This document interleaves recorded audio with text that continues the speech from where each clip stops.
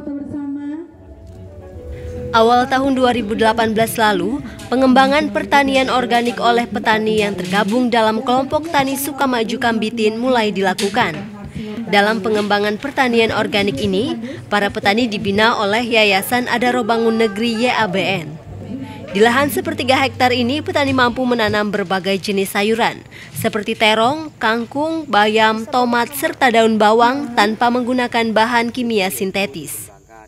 Direktur YABN Okti Damayanti mengatakan, sebelumnya petani setempat masih terbiasa menggunakan bahan kimia, sehingga merubah cara berpikir petani tersebut memerlukan waktu dan usaha yang sulit.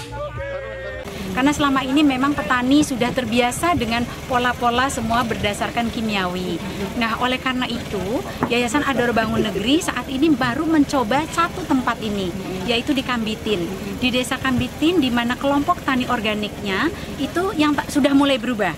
Yang tadinya sangat tergantung kepada kimia menjadi uh, organik. Meski belum maksimal, sayuran yang ditanam di lahan sepertiga hektar ini ternyata mampu menarik perhatian pengusaha di Tabalong.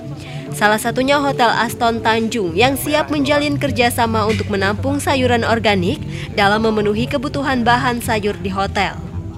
Setelah saya lihat dari berbagai ragam uh, vegetable atau sayuran yang ada di sini, itu sekitar 80% bisa kami ambil. Bisa ditampung ya? Iya, kita akan menampung uh, sekitar 80%. Kita sambut dengan gembira, bukan hanya akan bekerja sama, tapi kami sambut gembira dengan lengan tangan terbuka.